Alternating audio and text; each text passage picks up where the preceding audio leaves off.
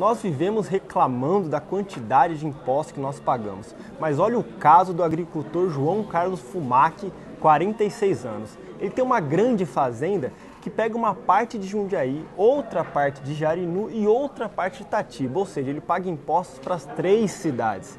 A esperança dele é que o conglomerado urbano resolva toda essa situação e torne a vida dele mais fácil, principalmente para o bolso dele.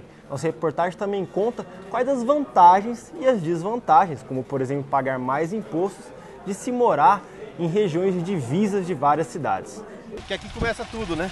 Começa. Aqui divide Itatiba, Jarinu e Jundiaí, né? Isso. E a gente tá Aqui fazendo já é Jundiaí. Ah, então a gente tá fazendo essa matéria para ver como é que é viver no levar a vida no- nesse ponto. Você, tem, você faz coisa em Jarinu? Pai, eu, eu, eu não, né? Mas o pai ali, pai, ele tem as contas dele lá, ele paga lá. Ele paga lá, paga aqui. Diz que vai, aumentou o município.